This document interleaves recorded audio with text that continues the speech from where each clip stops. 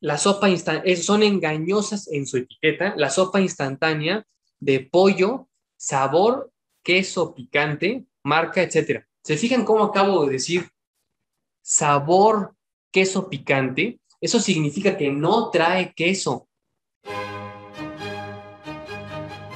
Hola amigos, soy el doctor Luis Vázquez para la clínica Herbol. Quiero que vean este artículo que, que acaba de publicar hoy, 4 de octubre, 2021, la Profeco, la Procuraduría Federal del Consumidor aquí en México. Está impresionante. Dice, inmoviliza Profeco más de 120 mil unidades de sopas instantáneas de distintas marcas. Fíjense, esto está escandaloso. Yo llevo más de 20 años diciendo que las sopas instantáneas son basura, es, tóxico para la salud. Y por fin le cayó el 20 al, le, cayó el 20 al, a la Profeco y tomaron cartas en el asunto. Vean, vean, eh, la Profeco inmovilizó un total de 129.937 unidades de sopas instantáneas que se comercializan en el mercado nacional. Eh, esto fue eh, un, operativo de verificación que se llevó a cabo el viernes primero de octubre de 2021. esto que les digo es, se acaba de publicar hoy. Ah, pues aquí está, aquí está. Quiero que lo vean porque esto es importante. Publicación 4 de octubre de 2021. Estoy haciendo este video el 4 de octubre de 2021. Bueno, por favor, denle una oportunidad a esto para que lo lean. Eh, hicieron un estudio a 33 productos de sopas instantáneas de diferentes marcas y hacía así como a 68 denuncias recibidas. El análisis del laboratorio está en esta página de internet, bueno, en Profeco, ¿verdad? Encontró que algunas marcas incumplen con los requisitos de la norma de etiquetado. Fíjense, lo, peor del asunto es que ni siquiera los están quitando del mercado porque no sean saludables. Es nada más por una cuestión técnica, por no cumplir con el etiquetado. Pero bueno, al menos, al menos las reglas son las mismas y son claras para todos. Y quien no las cumpla no podrá ofrecer su, su producto eh, en, el, en el supermercado o, ya, o, lo pueden llamar de otra manera, no pueden ofrecer su veneno en el supermercado, perdón, su producto. Para el caso es lo mismo en este, en este caso, ¿no? Eh, por ejemplo, la norma oficial mexicana 051 dice que hay una pasta preparada con salsa. Fíjense la, fíjense la palabra que voy a usar. Pasta preparada con salsa, sabor, queso y hierbas hasta una falta de ortografía, porque no debe ser y hierbas, sería e hierbas, pero bueno, marca la que está aquí anotada. Yo prefiero no decir marcas para no meterme en problemas. Tampoco digo nombres cuando digo ejemplos de historias aquí en el consultorio, ya ustedes ya lo han visto. Se llama pasta lista, que agrega jarabe de glucosa en sus ingredientes, pero no lo identifica como azúcares añadidos. Fíjense, es salsa sabor queso, es decir, ni siquiera trae queso. Si de por sí sabemos que el consumo de quesos lácteos se asocia a eh, asma, alergias, estreñimiento, problemas respiratorios de toda índole, porque los lácteos forman mucho moco, mucha flema, y eso todo mundo lo sabe, todo mundo lo sabe, causa una de alergias impresionante. Pero eso es cuando es queso auténtico. Esta es una salsa sabor queso, que ni siquiera trae queso. Eso es peor todavía porque es 100% sintético. Ven, ven, vean, ahí está diciéndolo, no, no lo digo yo, lo dice la Profeco. Salsa, sabor, queso, mucho cuidado. Ahora, otra, pasta, otra sopa instantánea que no expresa la energía en kilocalorías como lo exige la norma. La pasta preparada con sabor, salsa, sabor, queso y hierba, marca la que está apuntada ahí, otra es la pasta para sopa de fideos instantáneos, marca esta. La pasta de sémola de trigo, precocida para preparar sopa, marca, etc. Ahora, no presentan instrucciones de uso en idioma español. La pasta de sopa de fideos instantáneos sabor curry, marca lo que diga ahí. Pasta de trigo, estilo oriental, marca lo que diga ahí. Si se fijan, están retirando del mercado la Profeco a las sopas instantáneas, no porque no sean saludables, que todo el planeta sabe que son una porquería las sopas instantáneas, lo sabemos. Y voy a explicarles por qué en un momento más. No creo que nomás ando yo vociferando a lo loco, no, bueno.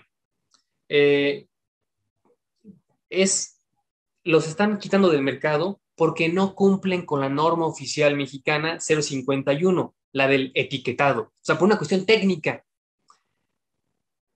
Eh, la sopa son engañosas en su etiqueta. La sopa instantánea de pollo, sabor, queso picante, marca, etcétera. ¿Se fijan cómo acabo de decir sabor, queso picante? Eso significa que no trae queso. Es sintético totalmente. Ahora, ya les expliqué aquí en muchísimas eh, videos que el pollo no es saludable para el ser humano. De por sí trae carne, caray, que es el pollo. Y luego trae una, una sustancia que hace que tenga un sabor a queso picante, que es ficticio. O el amor de Dios. Si ustedes se comen eso todos los días, y luego, ¿por qué será que les da migraña? ¿Y por qué tienen insuficiencia renal? ¿Y por qué tienen alta la presión arterial? Es porque comen todas estas porquerías. Eh, ya que en su denominación dice de pollo, pero en sus ingredientes indica contener polvo, sabor artificial de pollo y sabor artificial de pollo. ¿Se fijan cómo también existe el sabor artificial de pollo? O sea, todo es artificial, todo es artificial en la comida, en estos casos, ¿no? Sabor pollo, sabor queso picante. Pues ya no más falta sabor agua o qué le van a poner, o sea. Bueno, también los tallarines instantáneos, sabor pollo. Quiero que se den cuenta cuánto cuesta una sopa instantánea. Es baratísima. Si ustedes le ponen genuinamente, si ustedes le pusieran genuinamente pollo o chile serrano, chile cascabel o morita o ancho o el que me digan pasilla, tendría un costo mucho más elevado. Entonces imagínense lo que le ponen de ingredientes sintéticos para que sea costeable, para que sea rentable hacer esa sopa. Le ponen basura.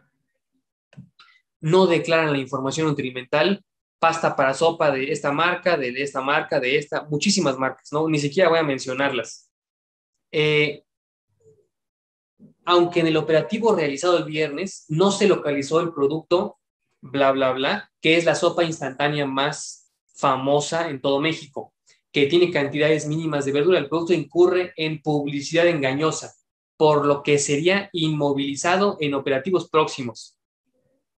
Los productos analizados incluyeron aquellos en vasito, tazón o sobre, con queso, tomate, carnes, fideos y las sopas tipo ramen o fideos orientales, etc. Eh, el estudio arrojó que todos los productos cumplen con el contenido neto y algunos productos contienen vegetales, pero en cantidades mínimas menos del 5%. Entonces están comiendo una sopa ustedes, pero que trae menos del 5% de verduras. No es saludable. La variedad en sus ingredientes, forma de preparación y presentación marca la diferencia de sabor, nutrientes y valor energético, bla, bla, bla. Eh, está están elaboradas con harina de trigo y almidones. Pueden contener sazonadores, salsas, extractos cárnicos, queso, tomate, potenciadores de sabor. ¿Escuchaban esa palabra que les dije? Potenciadores de sabor. Azúcares, grasas, aceites, verduras, entre otros. Los potenciadores de sabor, de sabores, por ejemplo, el aginomoto, se conoce como glutamato monosódico. Está autorizado por la Secretaría de Salud usen glutamato monosódico y también por la FDA. Pero eso no significa que sea saludable. También la FDA y la Secretaría de Salud autorizan que se venda el refresco negro en nuestro país. Y eso ya, eso, eso ya demuestra que es saludable. No, piensen con su cabeza, cuestionense todo. Es más, cuestionense lo que yo les diga. Van a encontrar ustedes unos videos en YouTube del doctor Russell Blylock que se llama Exitotoxinas. Busquen, por favor, les suplico que lo vean. Exitotoxinas. Y van a ver toda la la historia del glutamato monosódico y van a ver que es súper tóxico para el cerebro, súper tóxico para el cerebro. De hecho, hay un síndrome que se conoce como el síndrome del dolor de cabeza del buffet de comida china. Por cuando alguien va a un buffet de comida china y le ponen mucho glutamato monosódico a estas em, comidas para potencializar el sabor, da un dolor de cabeza insoportable. Es impresionante. Daña el cerebro y es casi irreversible. Alguien dirá, oye, pero el problema está en, el, en la dosis. ¿Sí? Si la dosis es muy alta hoy, te va a doler la cabeza inmediatamente. Pero si comes un poquito de glutamato monosódico hoy, otro poco mañana, otro poco al día siguiente, otro poco, eh, poco a poco, se va acumulando en el cuerpo, porque el organismo, el ser humano no tiene la, la posibilidad bioquímica de deshacerse de este producto cuando es sintético o hecho en el laboratorio. Cabe mencionar que los jitomates, cuando están maduros, producen glutamato monosódico de forma natural, pero no es lo mismo que venga un ingrediente en un producto natural de la comida diaria como el jitomate, a que lo hagan sintético y ya lo pongan del laboratorio en la comida. ¿Sí queda claro ese punto? No es lo mismo. Va, va a decir alguna persona aquí, claro que es lo mismo. No, no es lo mismo. Por ejemplo, si ustedes consumen calcio en una vitamina, hay una posibilidad muy grande de que se sedimente y cause piedras en los riñones. La posibilidad es altísima, especialmente cuando el paciente no está correctamente hidratado. No así cuando ustedes comen mucho ajonjolí, mucho apio, muchas espinacas, que es comer el calcio directamente de los alimentos. Aunque, tengan una mala hidratación, no se va a sedimentar el calcio y formar piedras en los riñones. ¿Está claro el punto? Cuando alguien consume un alimento, una vitamina, un mineral, una sustancia que es útil para el cuerpo, por la razón que sea, pero viene directamente de los alimentos, difícilmente le va a afectar. Pero cuando esa sustancia intenta replicarse en el laboratorio y luego se la comen ustedes, pues ahí, ahí no respondo, ¿eh? hay muchísimo cuidado porque es súper tóxico para la salud, porque está hecho en el laboratorio, es sintético. ¿Está eso claro? Sigamos. Eh, esto no me pareció interesante. Eh, se determinó que una vez preparadas estas sopas, el mayor componente es agua, 59 a 92%. Alguien dirá del público, entonces, ¿qué son de malo las sopas instantáneas si es casi agua de forma exclusiva? Pero lo demás que trae son puros tóxicos alimentos malsanos, sustancias químicas hechas en el laboratorio sintético que dañan el cerebro, aumentan la presión arterial, causan insuficiencia renal. Miren, somos el país que tiene más insuficiencia renal en todo el mundo. ¿Se habían puesto a pensar eso? Somos el país que tiene más insuficiencia renal en todo el mundo. ¿Qué vamos a hacer al respecto? Ahora, quiero que sepan que la gente que esté muy enferma llamen al consultorio con mucho gusto lo vamos a atender y a ayudarles mucho a la insuficiencia renal. Tenemos, estamos muy especializados en la atención telefónica para insuficiencia renal y hasta les mandamos los, los eh, plantas medicinales a su domicilio. Pero bueno, en relación al sodio, por 100 gramos de sopa preparada tiene entre 181 y hasta 398 miligramos de sodio. La norma de etiquetado establece que deben presentar sello de exceso de sodio cuando tengan más de 350 miligramos en 100 gramos de producto. Tengan en cuenta que aquí dice por 100 gramos de producto. Ahora, recomienda la norma oficial, no, la, la Organización Mundial de la Salud recomienda que al día coman como máximo 3 o 4 gramos de sodio al día. Pero en todo el día, aquí en una sopa, se están comiendo aproximadamente unos 250, a lo mejor 300 eh, miligramos. No está cerca de los 3 gramos, pero ya es la décima parte. Tengan en cuenta que ustedes también comen otras cosas durante el día, entonces pueden exceder. Ah, pero eso es por 100 gramos. La sopa instantánea, eh, que yo sepa, no trae 100 gramos, trae más, trae más. Es más, vamos a buscar cuánto trae una sopa instantánea, cuántos gramos trae una sopa instantánea, porque eso sí, sinceramente, no lo sé. Como yo no compro sopas instantáneas, eh, no tengo la menor idea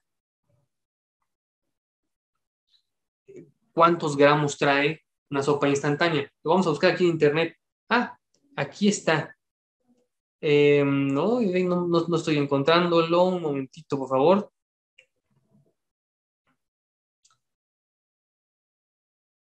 Bueno, aquí dice que trae 64 gramos. Entonces, vamos a hablar cómo son las cosas. Tiene muy pocos miligramos de sodio. ¿Ok? En ese aspecto, no digo nada. Qué bueno, trae poco sodio. Excelente hay que recordar que un envase preparado representa más de 100 gramos de sopa. Ah, ok, ok. Ok, eso no, lo sabía, fíjense, qué buen punto. Son 64 gramos el, el envase, ya que trae líquido, ya equivale a más de 100 gramos de sopa, ok. Entonces sí, sí está consumiendo el paciente más de, más de, uh, o sea, es, bastante sodio lo que está comiendo en una sopa de, de, estas, bastante sodio lo que trae una, una sopa instantánea de estas. Bastante. Eh, el laboratorio de Profeco hizo notar por lo que hay sopas contenidas en recipientes de unicel, como la pasta de harina de trigo, para preparar sopa instantánea sabor a, sabor a pollo y salsa picante hot sauce, sabor a pollo, bla, bla, y la marca fulana de tal, precocida con mezcla de condimentos deshidratados, sabor a pollo. ¿Se fijan cómo dice sabor a esto, sabor al otro, sabor al otro? Es, todo esto es, es, es falso. Al calentar alimentos en el microondas se liberan compuestos que se combinan con los alimentos y son nocivos para la salud, por lo que se sugiere seguir las instrucciones, instrucciones de preparación, porque cuando están hechas el recipiente de unicel y se mete a la microondas, se mezcla este unicel con el agua y ustedes están, con esos, se están comiendo esos tóxicos del unicel. ¿Es lo que quieren comer plástico? Pues tan mal, oye, por favor no coman ya sopas instantáneas. Ya les expliqué de glutamato monosodio que es sumamente tóxico para la salud, especialmente del cerebro. Y eh, ya vimos que ya está diciendo aquí que sí, efectivamente trae bastante sodio, trae exceso de sodio, como lo establece la norma oficial mexicana. No todas las sopas, no, pero sí muchas. Bueno, ya se me acaba el tiempo del programa, desafortunadamente, amigos, ya acabamos con el artículo. Intentaré hacer más artículos si les gusta que, que revisemos artículos de medicina o de la Profeco o de algo, me dicen y con mucho, hablamos al, con mucho gusto hablamos al respecto. Y quien tenga preguntas, háganlas aquí en YouTube, llamen al, al consultorio que está en WhatsApp para que hagan sus preguntas, para que se atiendan con nosotros y por favor vayan a la conferencia que voy a dar el 16 de octubre, sábado 2021, en el sur de California, en Estados Unidos. La conferencia es gratis. Ya se nos acaba el tiempo. Hasta la próxima, Dios mediante, y sean felices. ¡Chus!